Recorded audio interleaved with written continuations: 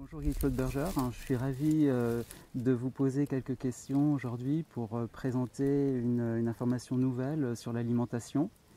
Euh, alors pour vous présenter, je vous propose de commenter une photo qui doit vous rappeler quelques souvenirs. Effectivement, le chou rouge, c'est dans un chou rouge que hum, toute ma démarche est née en quelque sorte. J'avais constaté, c'était lors d'un voyage aux États-Unis, j'avais constaté que le chou rouge que j'avais dans mon pique-nique changeait de goût du jour au lendemain. Un jour il était très bon, le lendemain il était mauvais. Là je m'étais dit c'est gâté, hein, c'est logique. Mais non, le troisième jour, le quatrième jour, il était de nouveau très bon.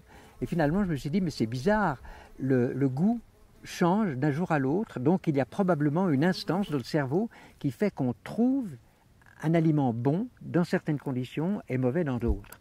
Alors, est-ce que maintenant, c'est lorsque le corps a besoin, par exemple du chou rouge, qu'il aura bon goût et le jour où on n'en a pas besoin, qu'il aura un mauvais goût? Il faudrait le démontrer. Si on peut démontrer cela, on démontre en fait qu'il existe chez l'être humain un instinct alimentaire, une capacité de, régulation par les, données sensorielles et qui peut correspondre aux besoins du corps. Et ça, c'était le point de départ de ma démarche.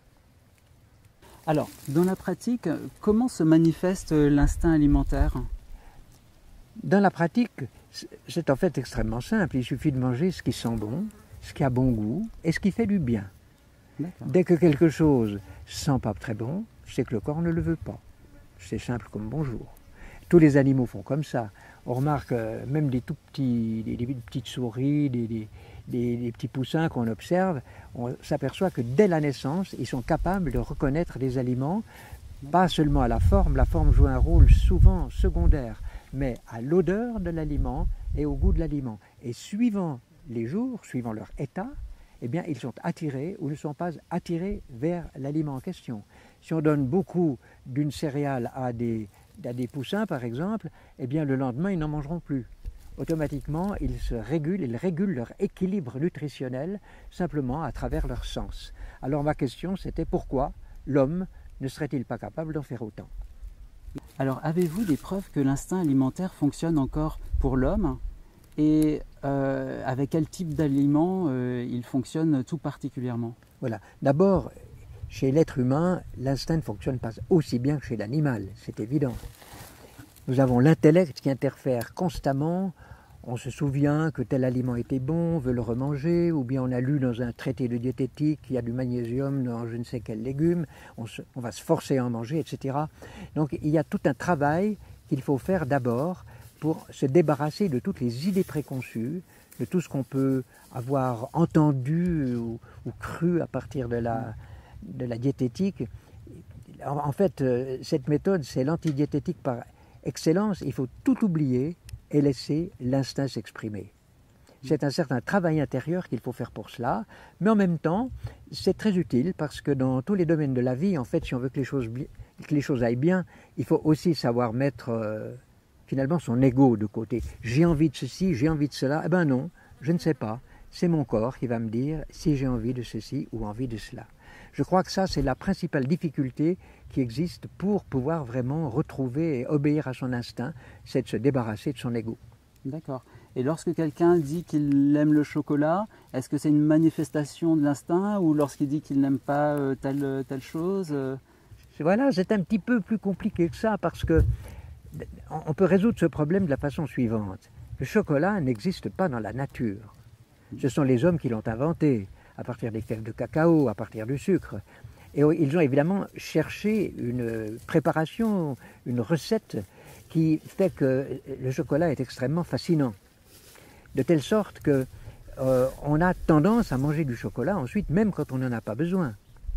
En effet, si on mange du chocolat, par exemple, il va rester tout le temps très bon au goût, sans grand changement de goût, contrairement à ce qui se passait avec mon chou rouge. En revanche, si on mange des fèves de cacao, nature, qui n'ont pas été chauffées, en achetant par exemple une cabosse de cacao et on mange les fèves. Il y a des cas où on a besoin de ce, cacao et où elles deviennent bonnes comme, euh, comme une pâtisserie, vraiment quelque chose d'extraordinaire. et d'un coup, elles changent de goût, elles deviennent acres, amères, on ne peut plus en manger davantage. Donc on voit la grande différence entre un aliment naturel et un aliment transformé par certains artifices. Et ma grande hypothèse à l'époque, lorsque j'ai constaté cela, c'était simplement que notre génétique, donc tout ce qui est programmé dans, notre, dans nos sens, dans notre fonctionnement métabolique, etc., tout l'organisme est programmé pour des aliments naturels et ne fonctionne pas correctement avec des aliments qui ont été dénaturés, qui ont été transformés. Rien ne garantit notre euh, sens du goût, par exemple, n'ait pu s'adapter au goût d'aliments comme euh, le chocolat, comme les nouilles au enfin comme tout ce qu'on a dans la cuisine, simplement parce que ça n'existe pas dans la nature et qu'il faut très très très longtemps pour que euh, l'organisme s'adapte réellement, s'adapte génétiquement à des changements de l'environnement. D'accord. Ce changement de saveur euh, au niveau de la fève de cacao, est-ce que c'est effectivement une manifestation euh, de, l'instinct alimentaire et est-ce qu'il permet euh, à l'homme de vraiment s'équilibrer Comment ça marche? C'est ça la bonne question, effectivement. Est-ce que ces changements correspondent aux besoins réels du moment? D'abord, les besoins de l'organisme changent un peu tout le temps parce que d'un jour à l'autre, on n'est pas dans le même état, et aussi d'un individu à l'autre, on n'est pas dans le même état. Ce qui fait d'ailleurs que les principes diététiques ne peuvent pas s'appliquer réellement.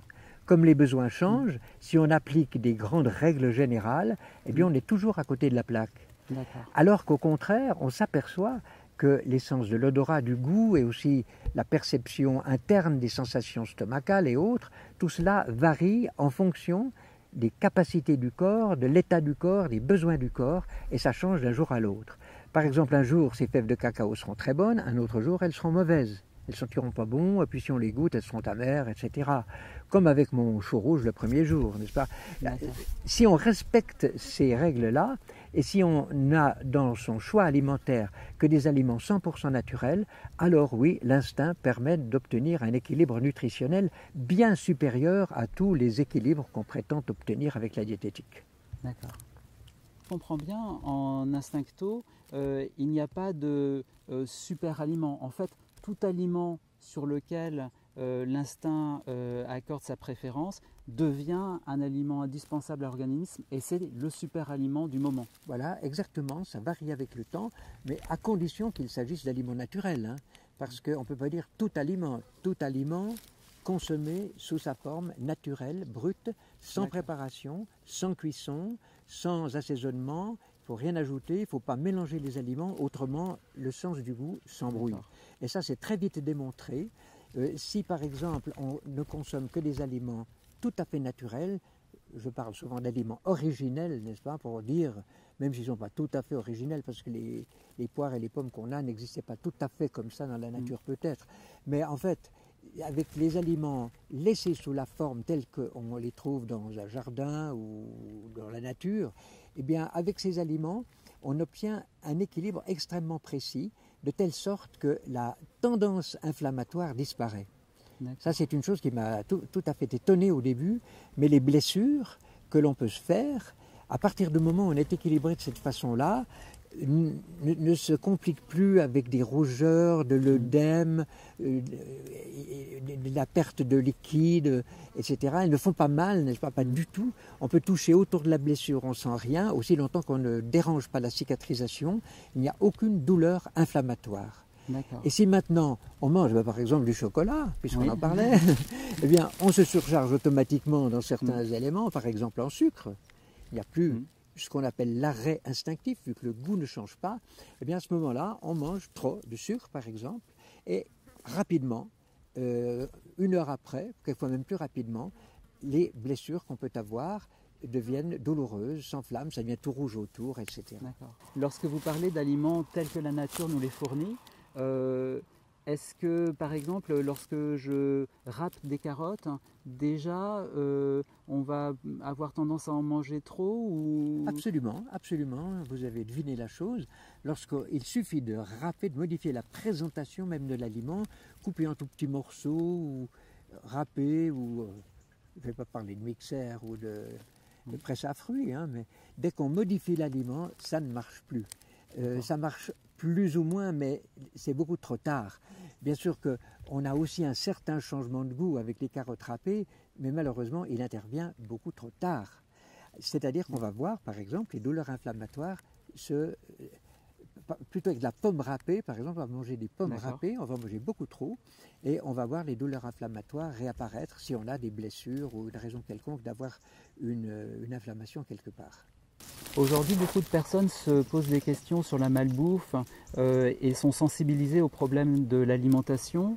Euh, beaucoup se, tournent vers les jus. Euh, si je comprends bien, les, jus ne, sont pas une solution dans la mesure où ils, contiennent des éléments qu'on peut manger ben, alors que notre corps n'en a pas besoin.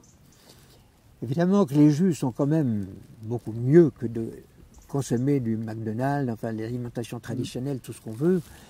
On, on, est déjà plus près de la nature, donc c'est pas étonnant qu'on aille déjà mieux. Mais on n'obtient naturellement pas la même régulation qu'avec euh, des aliments laissés sous forme nature. Par exemple, je mange de la carotte comme ça, en la croquant, d'un coup elle devient âcre, euh, pas bonne, je suis presque obligé de m'arrêter, en tout cas on n'a plus envie de continuer, n'est-ce pas? C'est comme ça que marche l'instinct. Alors que si maintenant je me fais du jus de carotte, je peux en avaler euh, dix fois plus avant de ressentir vraiment que mon corps n'en veut plus on dirait qu'on trompe l'essence dès qu'on modifie l'aliment, quelle que soit la modification. L'assaisonnement, c'est encore bien pire. Quand on assaisonne des aliments, on mange infiniment trop d'un aliment, même si on les mange crus. Eh bien, le fait d'assaisonner ou de mélanger fait qu'on est complètement déséquilibré et que toutes sortes de troubles organiques apparaissent. Justement, la tendance inflammatoire dont je parlais tout à l'heure et qui représente quelque chose de très important.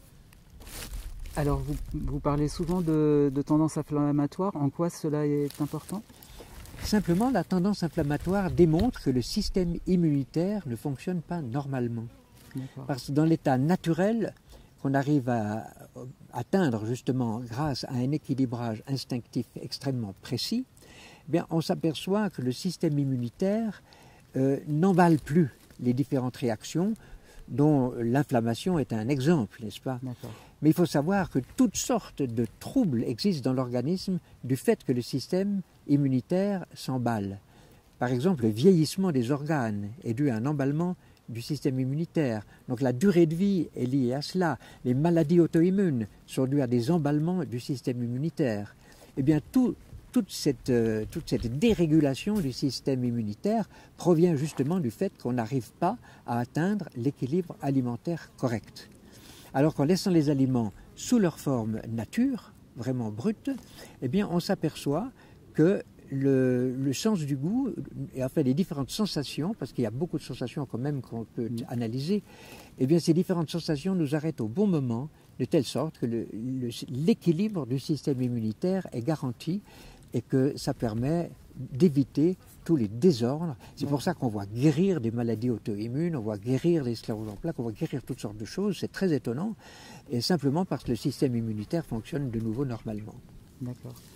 Et est-ce qu'on a besoin, euh, en instincto, euh, de connaître quels sont les bienfaits de tel ou tel produit euh, pour les favoriser dans, dans, sa plage alimentaire ou bien c'est souvent un faux calcul hein? C'est une arme à double, disons un couteau de cuisine à double tranchant ça, parce que d'un côté, c'est peut-être pas mauvais de savoir qu'il peut y avoir telle chose utile là et là pour agrandir son choix et avoir un choix plus grand par, à partir duquel on va choisir l'aliment qui correspond vraiment.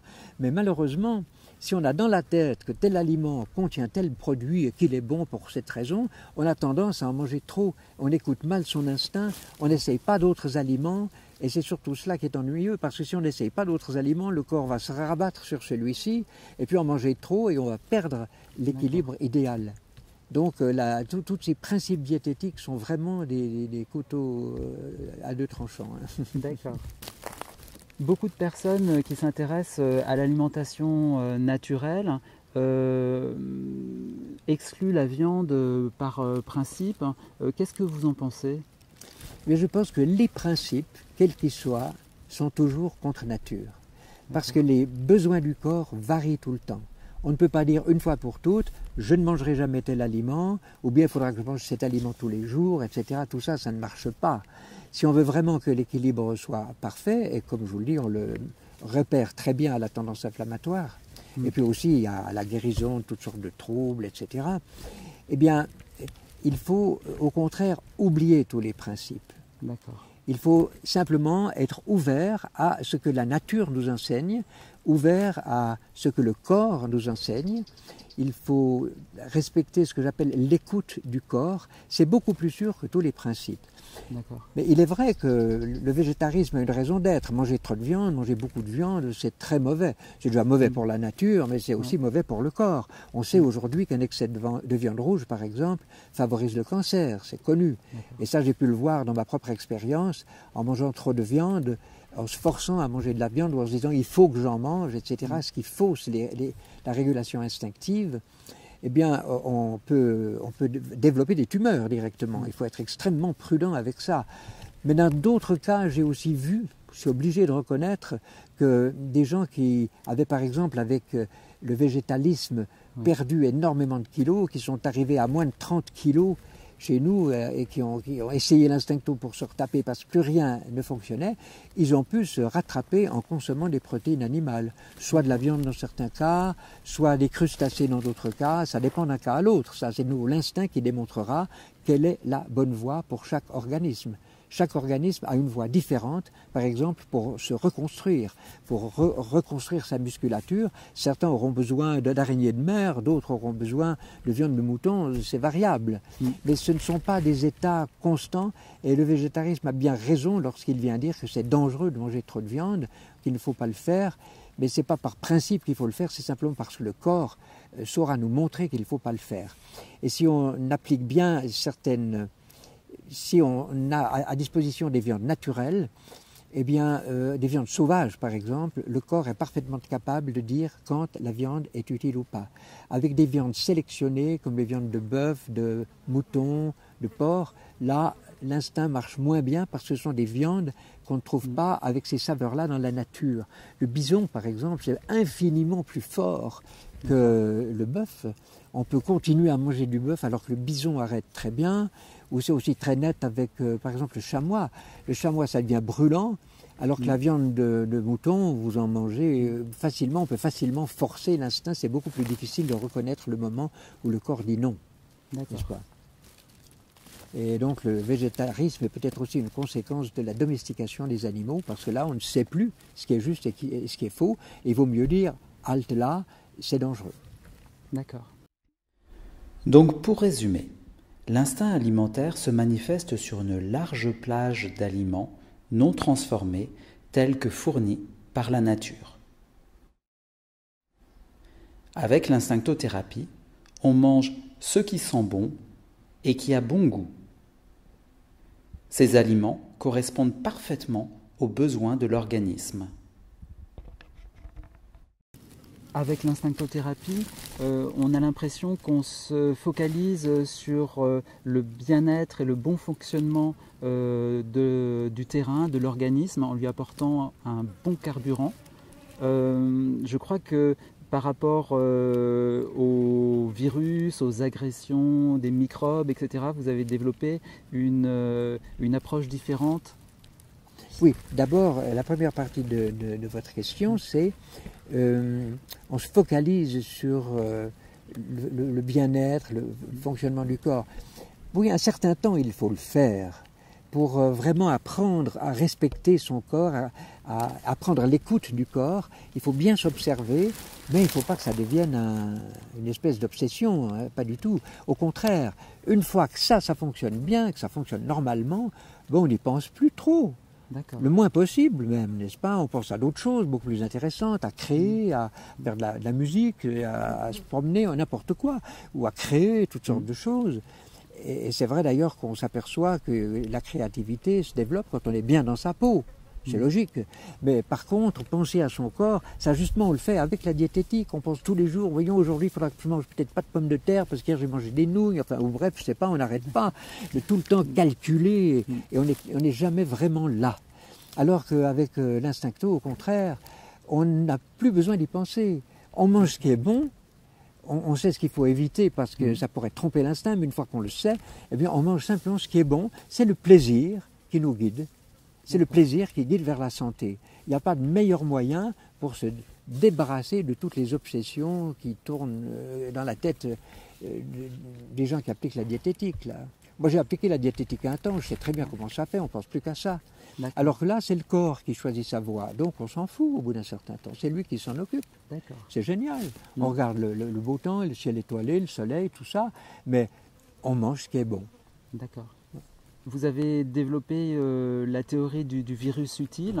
Euh, est-ce que vous pouvez nous en dire un peu plus? Ah ben Oui, peut-être euh, une petite anecdote est amusante avec ça. Mes deux premiers enfants allaient à l'école, ils avaient peut-être 6 et 7 ans. Et à l'école, il y avait une grosse épidémie de rayons. Et au bout d'un bon bout de temps, mes enfants n'avaient toujours pas de rayons.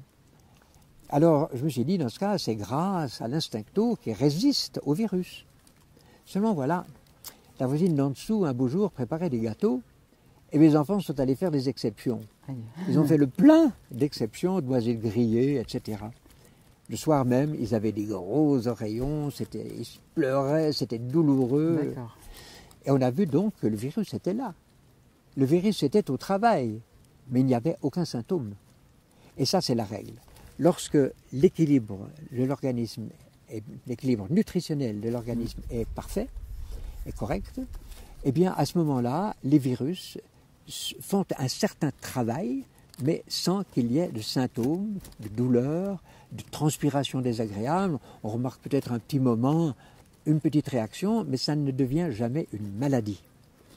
Alors j'étais obligé de me poser la question suivante, si les virus ne déclenchent plus des maladies, alors à quoi servent-ils? Eh bien, dans la nature, on s'aperçoit que les virus ont beaucoup de fonctions. Il y en a depuis le début, la plus grande partie de notre ADN est constituée de l'ADN viral. En réalité, ça on ne le sait pas trop. Mais en réalité, les virus ont permis probablement une transmission de caractère héréditaire horizontale, alors que la, reproduction sexuée permet une transmission des caractères génétiques verticaux. Les, virus, eux, permettent au contraire euh, de, transmettre des caractères génétiques d'un individu à l'autre dans une même espèce, mais même entre des espèces différentes. Et là, ça explique d'ailleurs beaucoup de transformations qui ont génétiques qui ont pu se faire au cours du temps. On en voit encore les traces chez nous. Donc on peut se dire, on peut faire le même raisonnement, disons utiliser cela par rapport aux virus qu'on considère comme des virus pathogènes. D'abord, ces virus pathogènes ne sont plus pathogènes lorsqu'on a une alimentation naturelle, c'est la première chose qu'il faut voir. Si on a un qui est pathogène, il faudra raisonner différemment. Mais je ne l'ai jamais vu. Le professeur Montagnier a indiqué dans une vidéo que hum, l'alimentation euh, pouvait jouer, un rôle très important dans la manifestation des symptômes dans le cas d'une infection au virus du sida. Voilà, même dans le cas du sida, finalement, il a constaté que le stress oxydatif, qui est une autre façon de parler d'intoxination alimentaire, enfin, n'est-ce pas euh, que, Donc l'alimentation peut jouer un très grand rôle. Effectivement, tout ce que j'ai observé avec les virus, euh, aussi bien les virus tout à fait courants comme la grippe, l'herpès, etc., mais même avec le sida, on s'aperçoit que lorsque l'organisme respecte euh, les règles de l'alimentation naturelle, et donc euh, l'instinct joue un rôle essentiel là-dedans, tous les animaux se nourrissent instinctivement, naturellement, donc l'organisme est en fait adapté à un équilibre nutritionnel idéal et déterminé instinctivement, eh bien, dans ces conditions-là, les symptômes viraux disparaissent. On ne voit pas apparaître les symptômes viraux, c'est tout à fait minime. On sent un peu de fatigue une après-midi, c'est fini. On a peut-être une petite suée le soir quand on se couche si on a un peu beaucoup mangé. Mais bref, c'est minime. Les maladies virales n'existent plus, on peut dire. Donc la question qu'il faut alors se poser, pourquoi les virus existent? Oui. Parce que dans la médecine, les virus existent pour rendre les gens malades. Mais moi, je pense que c'est complètement faux. Je pense qu'au contraire, les virus ont, depuis le début même de la, de la création, de l'existence de la vie, même entre les bactéries, vous savez que les bactéries se transmettent déjà des plasmides, qui sont des espèces de virus élémentaires, qui leur permettent d'acquérir des programmes instinctifs qu'elles n'ont pas par elles-mêmes une bactérie arrive par exemple à lutter contre une certaine molécule toxique, eh bien elle va pouvoir transmettre aux autres bactéries ce petit bout d'ADN qu'elle a fabriqué pour savoir, ce petit programme, n'est-ce pas, qu'elle a réussi à mettre en place pour lutter contre tel toxique, elle sait le transmettre aux autres bactéries de la colonie. il lui pousse ce qu'on appelle un poil sexuel, c'est-à-dire un petit, un petit tube comme ça, Mm. qui entre dans une autre bactérie. Elle transmet ainsi des plasmides de bactérie en bactérie. Eh bien, je pense que chez les espèces supérieures, c'est exactement la même chose qui se fait avec les virus. Les virus sont capables de transmettre d'un organisme à un autre un morceau de programme génétique. Et d'ailleurs, euh, au, cours de la vie, on le sait maintenant, que ce phénomène a joué certainement un très grand rôle, même dans l'évolution. D'abord, on, on sait aujourd'hui qu'une grande partie de notre ADN est constituée d'ADN viral, donc qui est arrivé à travers des virus. Certainement que les virus ont permis aux différentes euh, espèces vivantes, ou à l'intérieur d'une espèce, aux différents individus, de se transmettre des programmes génétiques et ainsi de complexifier la programmation génétique. Ce que vous avez dit à propos des virus, est-ce qu'on peut l'étendre sur euh, les maladies en général? Euh, Est-ce que effectivement la maladie s'exprime de manière différente sous instincto Qu'est-ce qu'on peut dire euh Je pense d'abord qu'il faut distinguer deux classes de maladies. Des maladies vraies, appelons-les les maladies vraies, comme le cancer, comme euh, les maladies auto-immunes, le ramollissement cérébral, euh, ça c'est peut-être le pire, l'Alzheimer, enfin tout, tout, tout. ce- Il y a des maladies dans lesquelles l'organisme dégénère. D'accord. Et ça, ce sont des maladies vraies. Par contre, bien d'autres soi-disant maladies, ou en tout cas processus, que la médecine nomme quand même maladies, parce que avec l'alimentation traditionnelle, ça dérape et ça va très mal. Mais ces maladies-là, donc comme les maladies virales dont on ne voit plus les symptômes apparaître, qui gardent toujours ce qu'on appelle la forme asymptomatique ou la forme fruste, eh bien, je pense que ces maladies ne sont pas des vraies maladies. J'appelle ça parfois, avec un peu d'humour, les maladies utiles. Mais en réalité, ce sont des processus dans lesquels l'organisme se régénère. C'est exactement le contraire. Dans les maladies vraies, il dégénère. Dans les maladies utiles, au contraire, il se régénère. Et ces maladies servent très probablement, en tout cas une grande partie d'entre elles, à éliminer les molécules anormales qu'on absorbe avec l'alimentation dénaturée. Mais quelles sont ces molécules anormales hein? C'est vrai que la ménagère qui cuit ne sait pas qu'elle fait de la chimie la plupart du temps. Mais comment est-ce qu'on fait de la chimie hein? À l'école, on apprend ça quand même. On prend une éprouvette, on verse deux produits dedans, on chauffe. Et ça fait une réaction. Quelquefois, ça fait boum. Quelquefois, ça change de couleur. Quelquefois, ça devient tout dur. Enfin bref, les molécules se transforment sous l'effet de la chaleur. Eh bien, quand on cuit, qu'est-ce qu'on fait d'autre? On fait exactement ça. On, on modifie l'état moléculaire des nutriments. Les molécules s'accouplent entre elles. En fait, c'est quoi la chaleur? La chaleur, c'est l'agitation thermique, n'est-ce pas? C'est l'agitation des molécules qui bougent avec plus d'intensité, plus d'énergie cinétique. Bon, alors quand on chauffe un aliment, les molécules se rencontrent avec une force tout à fait anormale, tout à fait non naturelle, et on forme ainsi des composés nouveaux des composés qui n'existent pas dans la nature. Ça, ça a été découvert déjà en 1917 par un chimiste américain qui s'appelait Maillard, et on a appelé pour cette raison ces molécules les molécules de Maillard. Et ces molécules, il en existe des quantités différentes, enfin des espèces différentes, en nombre infini, parce que toutes sortes de réactions chimiques aléatoires peuvent se produire lorsqu'on met ensemble des molécules aussi complexes que les molécules alimentaires. Les protéines, par exemple, sont des molécules d'une haute complexité. Et lorsqu'on les chauffe, elles vont se déformer, elles vont se casser, elles vont s'accoupler à d'autres. Elles vont par exemple s'accrocher des molécules de glucose, que souvent on cuit encore en ajoutant du sucre, ou bien il y a du sucre dans l'aliment qu'on cuit, bref. Et le glucose a la très mauvaise idée de très facilement s'accrocher à des protéines, et ça forme alors ce qu'on appelle des AGE. Alors, ça vient de l'anglais Advanced euh, Glycation End Products, donc des produits de glycation avancée. Bon, c'est le mot scientifique euh, qu'on a donné à ces molécules, mais ce sont simplement des protéines qui s'accouplent avec des molécules de sucre. Et ces molécules-là, on a démontré maintenant depuis peut-être 20 ans, 10-20 ans, on a étudié cela et on a démontré qu'elles ont toutes sortes de, nuisances, elles sont toxiques, elles sont génotoxiques, elles dérèglent même nos gènes. elles sont euh, neurotoxiques, elles dérèglent le système nerveux, elles s'accumulent dans l'organisme, etc. Elles vont dans les plaques graisseuses, dans les athéromes, on trouve des AGE dans les athéromes. Ce n'est pas le, le, cholestérol qui va faire des athéromes, n'est-ce pas, dans les maladies cardiovasculaires, ce sont les AGE principalement. Bref, on voit bien qu'il existe, dans, on, fabrique dans une casserole des molécules qui n'existent pas dans la nature, et ces molécules ensuite pénètrent, elles traversent la barrière intestinale, elles s'accumulent dans le corps, parce que ce sont des molécules nouvelles que notre corps ne sait pas gérer correctement.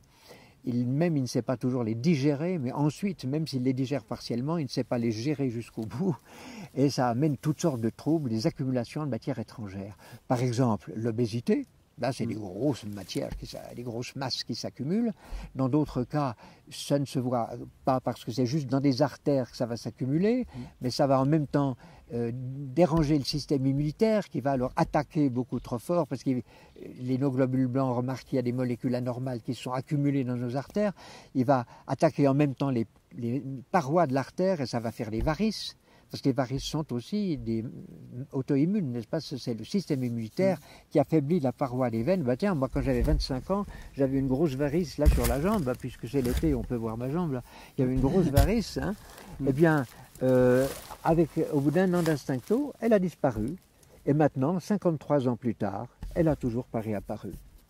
D'accord. Pourtant, diable, si je suis souvent debout, je fais peu de sport, bref, je pourrais avoir des varices. Hein. Mm. Toute ma famille avait des varices, ben, moi, pas, zéro. D'accord. Et à propos de la, barrière intestinale, euh, on, dit souvent qu'effectivement ça, bloque les, aliments qui ne sont pas assimilables. Euh, comment ça se fait que certaines euh, molécules anormales passent la, barrière intestinale? Alors d'abord, il faut savoir que la barrière intestinale, c'est de la mythologie. On avait simplement constaté que l'organisme dans l'intestin, grâce à beaucoup de bactéries d'ailleurs, qui, je ne sais plus combien d'espèces de bactéries, on ne sait exactement aujourd'hui, mais il y a un grand nombre de bactéries, beaucoup plus que ce qu'on croyait. Je ne sais pas si c'est 217 peut-être, quelque chose comme ça. il y a énormément de bactéries qui travaillent à toutes sortes de fonctions complexes. Et le principal, la première chose qu'on avait découverte, c'était très simpliste à l'époque. On avait simplement barré, par exemple, que les, sucres complexes se font couper en petits morceaux par des enzymes. Aussi, les protéines se font couper en petits morceaux par des enzymes. Et ce sont ensuite ces petits morceaux qui peuvent traverser facilement la barrière intestinale et passer dans le sang. Et alors, on est parti de l'idée comme ça qu'on pouvait bouffer n'importe quoi. Il n'y a que les petits morceaux qui passent, et les petits morceaux ne peuvent pas être dangereux. Hein. C'est comme quand on démonte une machine de guerre, ça fait ensuite des petits bouts de métal comme ça, ils ne sont pas dangereux en eux-mêmes, n'est-ce pas? C'était la même chose. Malheureusement, c'était complètement faux. On a cru cela pendant longtemps, certainement parce que ça permettait de ne pas se poser de questions sur le plan de l'alimentation. En réalité, c'est faux. Euh, il y a des grosses molécules, plus ou moins grosses, ou des molécules partiellement démontées aussi, qui franchissent très facilement la barrière intestinale. Elles les franchissent euh, soit à l'intérieur euh, des, des, chylomicrons, donc des petites boules de graisse qui traversent l'intestin sans se digérer vraiment, mm. Ou alors aussi directement par perméabilité intestinale simplement. Donc on a beaucoup de molécules de grosses molécules qui peuvent franchir la barrière intestinale. Et maintenant, quand on, absorbe des aliments cuits, qui sont truffé de molécules dénaturées, de molécules de Maillard, d'AGE, comme je l'expliquais, eh bien, ces molécules passent euh, comme une lettre à la poste, ce n'est pas un problème. On voit très bien qu'elles passent. D'ailleurs, un très bon moyen de voir que les molécules, que les grosses molécules franchissent la, relativement grosses, en tout cas franchissent la barrière intestinale, c'est de manger de l'ail. Le lendemain, on a une odeur d'ail dans les yeux, si on regarde bien. Si on a par exemple, ou bien dans le mucus qu'on peut avoir dans le nez, il y a une odeur d'ail qui passe directement. Ou bien sûr, la graisse qui sort du nez, ça sent l'ail. Donc on voit bien que des grosses molécules franchissent la barrière intestinale. Elles ne nous protègent pas du tout contre les toxines culinaires. Loin de là. D'accord. Et euh, ne pensez-vous pas que notre, notre organisme a pu s'adapter euh, génétiquement dans le temps à ces nouvelles euh, molécules? Ben vous, ben vous avez tout à fait raison de poser cette euh, question parce que c'est une question tout à fait fondamentale qui a été d'ailleurs complètement zappée par la médecine. En fait, il faut la poser sous trois, à trois niveaux. D'abord, chaque fois qu'il y a un aliment nouveau dans la plage alimentaire, est-ce qu'il nécessite une adaptation génétique? Est-ce qu'on n'aura peut-être pas les enzymes nécessaires pour certaines molécules nouvelles qui se trouveront dans ce nouvel aliment, etc.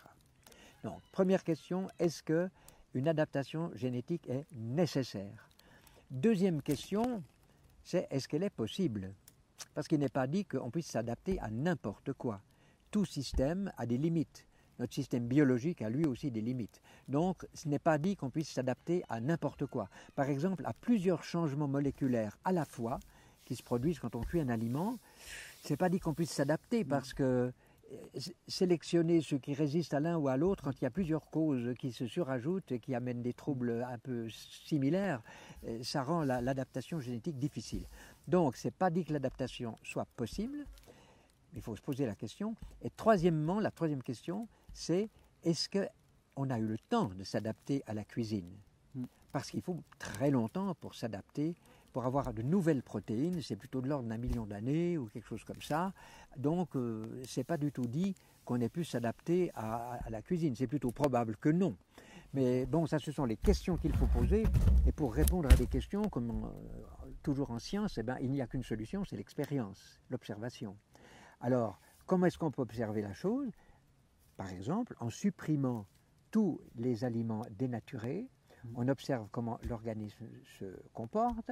On voit d'abord qu'il va beaucoup mieux qu'avec l'alimentation culinaire. On a vu toutes nos maladies disparaître. Il y a une liste comme ça de maladies qui disparaissent, de bobos et de grosses maladies aussi. Vraiment, c'est très très étonnant. On voit que l'organisme va beaucoup mieux. On voit les gens rajeunir. On voit les gens euh, plus vifs d'esprit aussi. On voit, ça c'est aussi très utile au niveau cérébral. On voit vraiment que ça marche beaucoup mieux aussi les sportifs voient, d'un coup leur, leur, performance augmenter, ils ont plus d'endurance, ils ont moins de fatigabilité, euh, les courbatures aussi disparaissent, on, ne les sent pratiquement plus. Bref, on voit des très très gros changements à ce niveau-là. Mais ensuite, ce qui est intéressant, c'est qu'une fois qu'on a obtenu cette cet état idéal, mm. je parle à ce moment-là de référentiel originel, n'est-ce pas? On a un référentiel de santé euh, originel. À ce moment-là, on peut réintroduire un aliment, un seul aliment cuit, un seul aliment dénaturé, et puis voir ce qui se passe. Et comme ça, on peut voir si on lui est adapté ou pas. Eh bien, j'ai fait cette expérience avec des foules de choses différentes. Le lait tout seul, le lait biologique, le lait de chèvre, enfin bref, avec des mm. foules. Aussi le, euh, juste des céréales un peu chauffées ou des légumes décrudis, etc. Mm. Et chaque fois, on voit que la tendance inflammatoire réapparaît. En réintroduisant simplement le lait, par exemple, j'ai d'un coup vu une tendance inflammatoire, ça est allé même jusqu'à l'infection, une infection qui montait avec une lymphangite jusque mm. ici en haut, comme euh, quand ça arrive à l'épaule, on dit attention, ça va être la septicémie. Mm. J'ai arrêté le lait, mais le lait, c'était le seul aliment pas naturel que j'avais par rapport aux autres, n'est-ce pas? Voilà, comme ça, j'ai pu voir que ça venait du lait. Et à ce moment-là, en arrêtant le lait, c'est redescendu. Quand c'était ma ligne rouge était entre le poignet et l'avant-bras, j'ai repris le lait, elle est remontée. Et quand elle était au milieu de l'avant-bras, j'ai arrêté de nouveau, elle a disparu. Cette fois, j'ai plus repris le lait, elle a disparu complètement. Voilà, comme ça, on a pu démontrer, on a refait cette expérience trois fois. Un biologiste qui travaillait avec nous aussi à l'époque l'a fait sur lui-même aussi. Et on a constaté qu'il suffit du lait pour changer complètement la réaction de l'organisme aux bactéries, et donc la tendance infectieuse, la tendance inflammatoire en même temps et tout ça. Donc on peut ainsi démontrer qu'on n'est pas adapté au lait de vache naturel, biologique, consommé nature, très à la main, enfin bref. Je crois que vous avez euh, validé aussi ces expériences sur des, sur des souris Oui, j'ai fait des expériences sur des souris, mais c'est quand même assez difficile sur les souris. Mes meilleures expériences sur les souris ont été avec des, des mulots. Des mulots que je capturais dans la nature et que, euh, que je nourrissais autrement en, laissant une alimentation aussi naturelle que possible et en introduisant certains éléments perturbateurs comme justement le lait de vache ou le fromage ou de la tome ou des céréales chauffées, du pain, etc. pour voir ce qui se passait chez ces animaux. Et ça a été spectaculaire de voir ça. On voit toutes les, toutes les difficultés de santé que les humains ont euh, réapparaître chez l'animal sauvage quand on introduit même parfois un seul de ces éléments pas naturel. J'avais aussi une cage de souris euh, auquel on donnait les, déchets de table de, la, voisine d'en dessous. pas? Elle nous apportait ses déchets de table tous les jours. Elle était sûre que mes animaux allaient, mes souris devaient aller beaucoup mieux avec sa bonne nourriture cuite qu'avec la mienne, parce qu'elle trouvait que ma nourriture était aberrante. Je pense qu'elle voulait même m'aider en me ça. Et moi, j'avais aussi là une cage avec des mêmes souris, mais qui avaient alors les aliments purement originels, n'est-ce pas? Et on comparait ça. Eh bien, au bout de trois semaines, les souris euh, cuites, si on peut dire, les souris qui mangeaient cuit, étaient complètement obèses. Au bout peut-être de quatre semaines, deux ou trois parmi elles, il y en avait je crois douze dans la cage, deux ou trois parmi on avait l'impression d'omelettes vivantes qui se déplaçaient en rampant sur le fond de la cage tellement elles étaient obèses. Et la dame en question était très fâchée parce que sa mère était aussi obèse comme ça. Et d'un coup, elle a vu le même tableau chez ses souris. Elle, était mince comme ça, au contraire, la femme là, en question. Mais elle a aussi vu que certaines de mes souris avaient maigri lamentablement. Donc on avait des tout minces et des tout gros.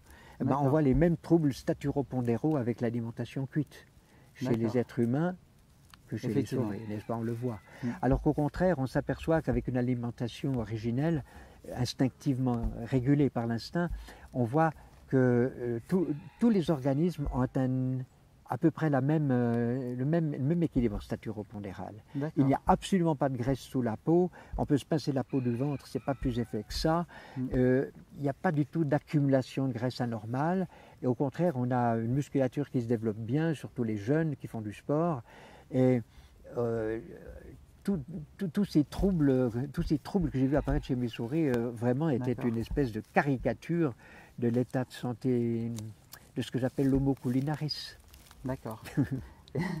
Et vous n'avez pas peur avec euh, ces découvertes, cet état, euh, euh, on va dire, de, santé originelle, de, ruiner la médecine?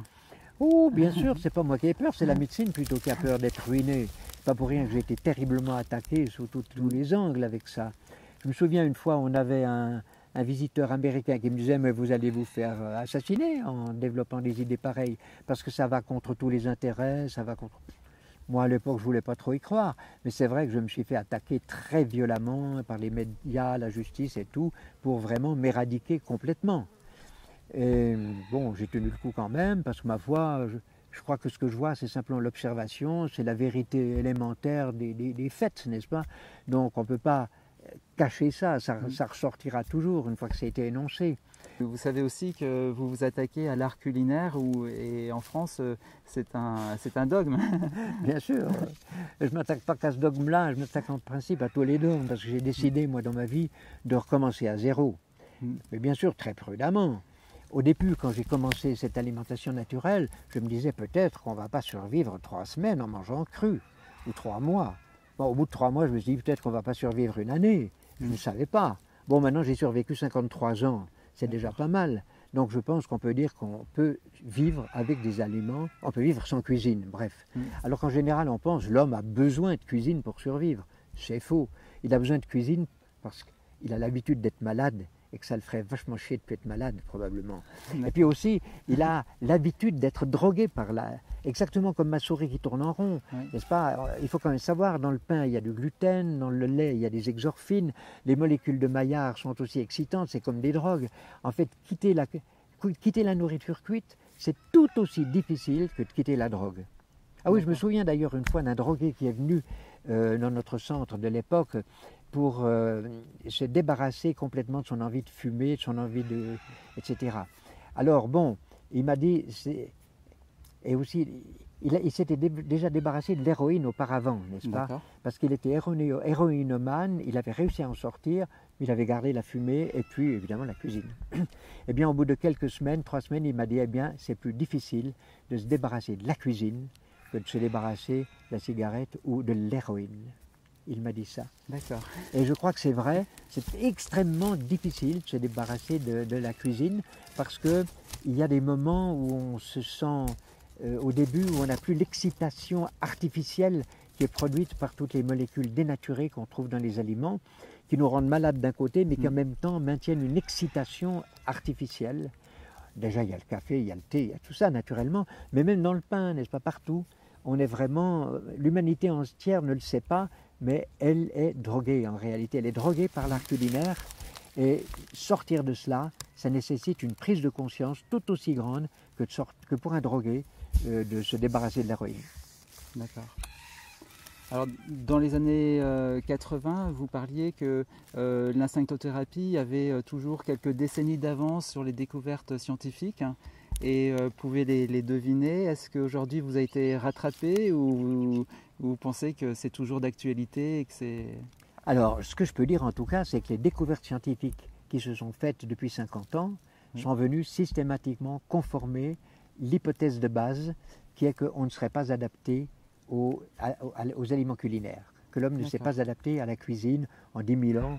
C'est rien, 10 000 ans ou même 50 000 ans de cuisson, je ne sais pas. C'est extrêmement peu par rapport à, au temps nécessaire, au temps biologique nécessaire pour des adaptations. Nous avons encore 99, euh, je ne sais plus combien de pourcents de, gènes euh, identiques à ceux du chimpanzé. Le chimpanzé n'est pas adapté à la cuisine, il vit dans la nature.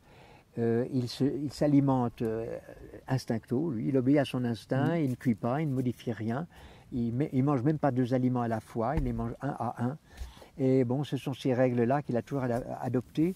Et je pense que l'homme au début a encore vécu comme ça assez longtemps, mm. et depuis qu'il a changé cela, l'expérience montre qu'on n'y est pas adapté, vu qu'il suffit de mélanger deux aliments pour ne plus respecter le critère de la douleur inflammatoire dont je parlais tout à l'heure. On voit immédiatement que l'équilibre nutritionnel est faussé par un simple mélange, par une simple modification d'un aliment, par l'extraction d'un jus, par euh, euh, un petit peu de cuisson, n'est-ce pas? Même un fruit qui tombe au soleil et qui chauffe trop, déjà ça marche plus.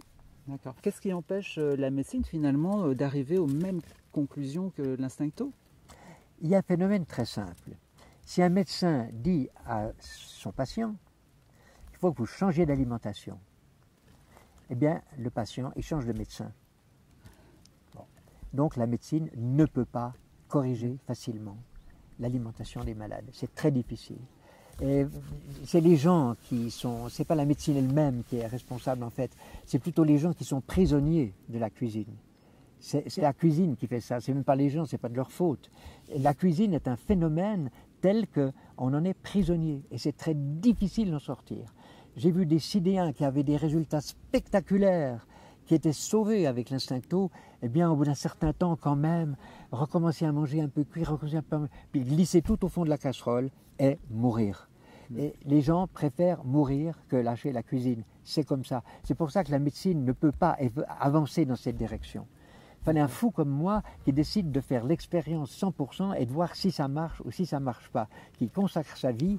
Et ça n'a pas toujours été facile non plus parce qu'on a aussi fait beaucoup d'erreurs au cours du temps. On, ne savait mm. pas tout, tout ce qui peut tromper l'instinct et tout. C'est pas si simple que ça. Mais maintenant, je peux quand même dire non, ça marche vraiment 100%, ça marche très bien et l'organisme humain est encore adapté aujourd'hui aux anciens aliments. La médecine n'aime pas poser cette question parce qu'aussi la poser, ça donnerait l'impression qu'elle a oublié de la poser plus tôt. En fait, c'est une question qu'il aurait fallu poser dès qu'on savait que la génétique existait. C'est-à-dire au moins il y a 60 euh, ans, 70 ans maintenant, mais déjà du temps de Mendel. On aurait dû la poser cette question. Ah bon, alors s'il y a une génétique qui est déterminée, qui est innée, s'il y a des tas de composantes innées, alors quand l'homme a changé sa nourriture, est-ce qu'il a pu s'adapter à ces nouveaux éléments, à ces nouvelles données? Rien ne le garantit. Il fallait poser cette question. C'était d'une importance vitale. Il y a des milliards de gens qui sont morts parce que mm. cette question n'a pas été posée. Donc, si un médecin vient dire aujourd'hui, oui, on a oublié de se poser cette question, on aurait dû se la poser depuis longtemps, eh ben, ça veut dire simplement que la médecine est morte. Mm. C'est honteux, c'est catastrophique, c'est une responsabilité euh, telle qu'on ne peut même pas l'envisager finalement, n'est-ce pas? Tellement c'est gros. D'accord. Et vous, vous, préconisez plutôt au niveau de la, pratique de l'instinctothérapie une, euh, une, approche, on va dire, euh, progressive ou bien de, de, de, couper tous les liens avec, avec l'art culinaire brutalement? Qu'est-ce que... C'est comme la drogue. Qu'est-ce qui vaut le mieux? Hein. C'est très difficile cette question. Mais moi, j'ai toujours remarqué que ça marchait beaucoup mieux quand les gens réfléchissaient longtemps, changer leur, sans changer leur alimentation, prendre conscience, réfléchir, s'apercevoir qu'on fait une erreur avec la cuisine, euh, faire toutes sortes de recoupements, observer les gens qui mangent, qui mangent instincto, etc. Et puis, un beau jour se dire, eh bien voilà, à partir de cette date-là, cette date-là, j'arrête. Exactement comme quand on va arrêter de fumer. Arrêter petit à petit comme ça, c'est ultra dur. En général, Mm. on n'y arrête pas, on n'y arrive pas. Alors que, au contraire, si on se décide à partir d'un jour d'arrêter 100%, on passe par une période difficile, mais elle est beaucoup plus courte.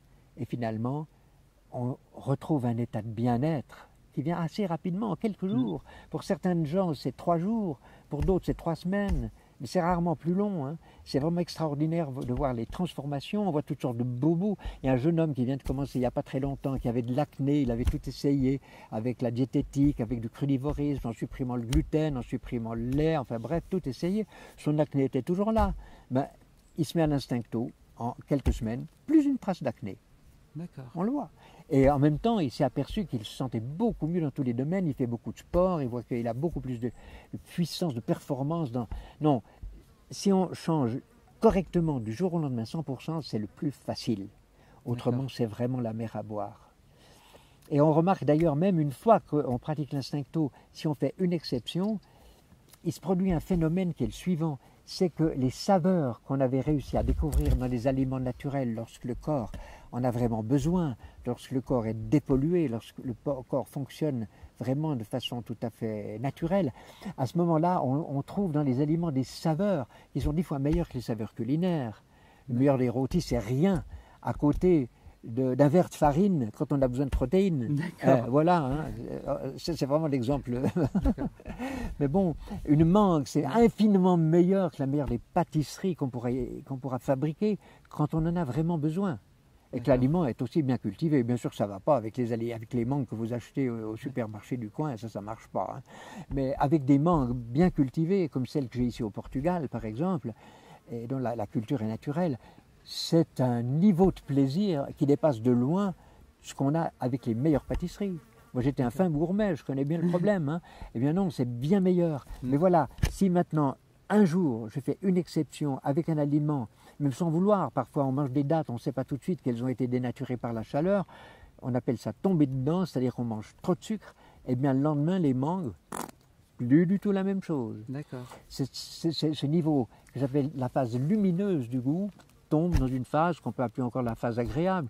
Oui, c'est bon, c'est bon, c'est un bon fruit, mais c'est pas du tout l'extase qu'on trouve dans les aliments en- lorsque le corps en a vraiment besoin. Et ça, c'est un aspect très important, parce qu'on a besoin d'une certaine quantité de plaisir pour vivre. C'est difficile, euh, notre, notre cerveau est fait comme ça, on a besoin d'une certaine quantité de récompense, hein, dans les circuits de la récompense et de la punition. On a besoin de ça, d'endorphines et tout.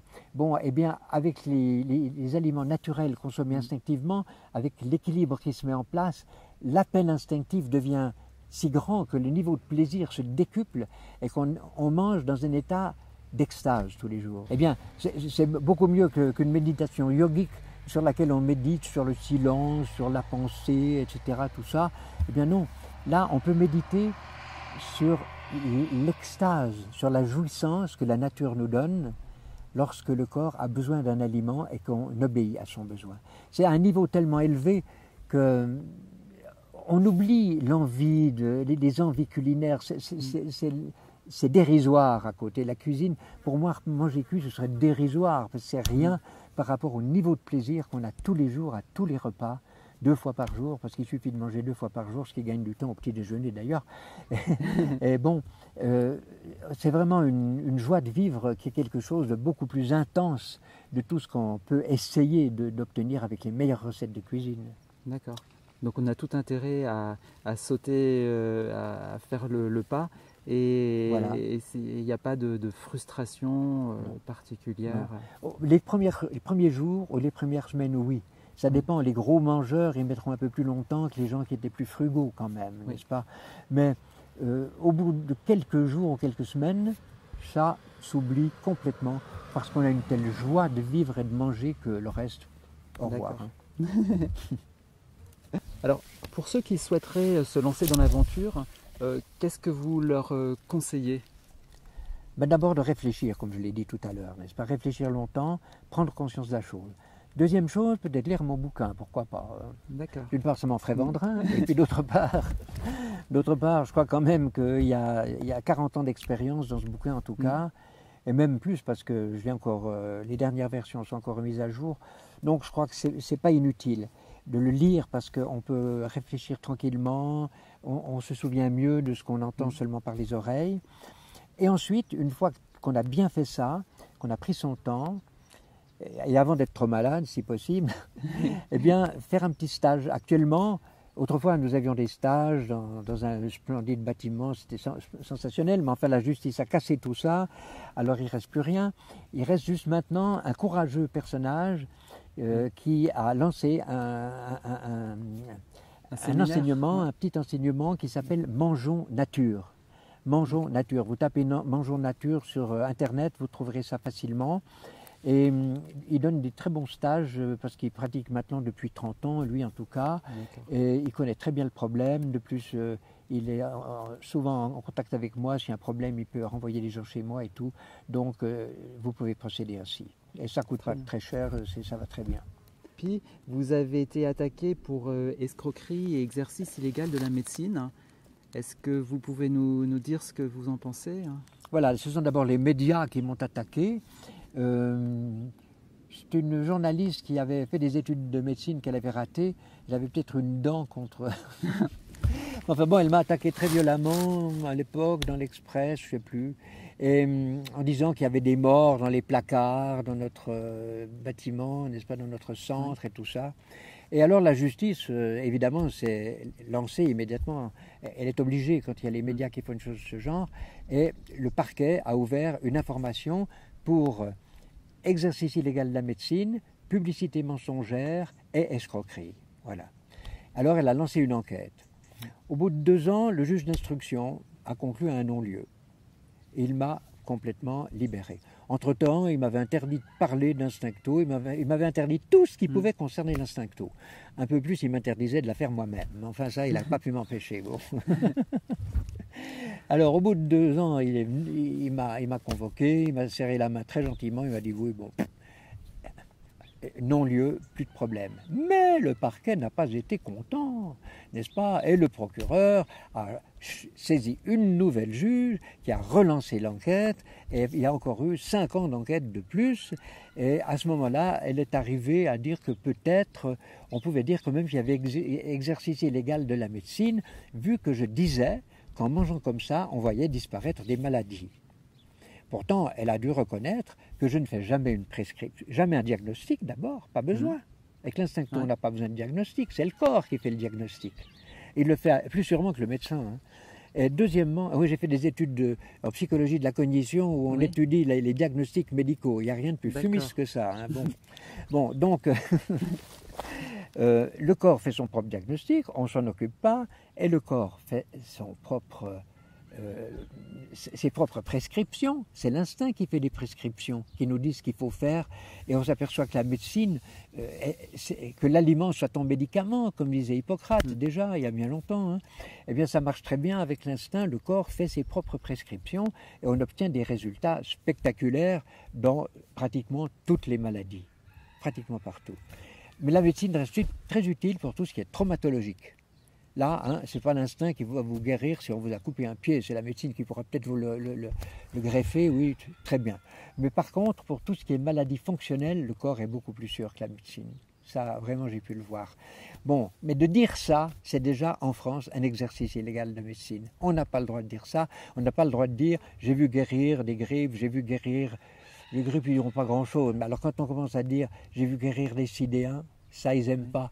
Quand on vient dire j'ai vu des tumeurs cancéreuses fondre au soleil, plutôt fondre avec les aliments naturels, eh bien, ça, ils n'aiment pas du tout. Hein. C'est quand même le, fonds de commerce qui est attaqué. Et cette journaliste m'a attaqué très violemment. Elle faisait euh, tandem avec un professeur de rhumatologie, dont j'ai oublié le nom maintenant, mais qui détestait. Euh, il, attaquait toutes les, il, parlait de la patamédecine, de toutes ces médecines, n'est-ce pas, naturelles, mm. qui font n'importe quoi. Il n'a même pas compris ce que c'était que l'instincto, cet homme-là. Mm. Enfin bref, elle m'a fait un article qui, m'a vraiment beaucoup nuit. Et automatiquement, c'est comme ça que la, justice s'est mise en, route. Et elle avait raconté qu'il y avait donc, ah oui, je l'ai dit tout à l'heure, qu'il y avait des, morts dans les placards. Mm. Eh bien, il s'est avéré que c'était complètement faux, n'est-ce pas? Mm. Parce qu'il n'y aurait jamais eu de non-lieu s'il y avait eu un truc pareil. Tout ce qui avait été dit, il n'y a pas eu ni escroquerie, ni mensonge, pas de publicité mensongère, ni euh, de gens qui aient pu se plaindre. Mm. Ils ont même fait des appels, elle a fait des appels dans les journaux pour trouver des gens qui se plaindraient de l'instincto. Il n'y a pas eu un témoignage contre moi malgré tout ce qu'ils ont fait. Mais ensuite, bon, le parquet n'étant pas content, il a relancé une enquête et la juge qui a remplacé le premier juge euh, a, à, la fin, euh, déféré au tribunal correctionnel pour exercice illégal médecine. Elle avait dû abandonner l'escroquerie, hmm. donc il n'y a pas eu de. Il y a eu non-lieu complet pour l'escroquerie, mais le parquet espérait encore démontrer qu'il y avait exercice illégal de la médecine. D'abord, j'étais relaxé hmm. en tribunal, j'étais relaxé complètement. Alors là, il a encore demandé un appel en plus, n'est-ce pas? Ça faisait au bout de sept ans. Eh bien, il a demandé un appel en plus, et dans cet appel, on va condamner des juges avec des gueules comme ça. Ils m'ont condamné à trois mois de prison avec sursis et je crois 50 euh, 000 francs d'amende. À l'époque, il n'y avait pas d'euros. Hein. Les molécules anormales peuvent avoir euh, des incidences euh, sur notre organisme. Est-ce que ces, molécules peuvent, peuvent, également agir sur, sur notre psychisme?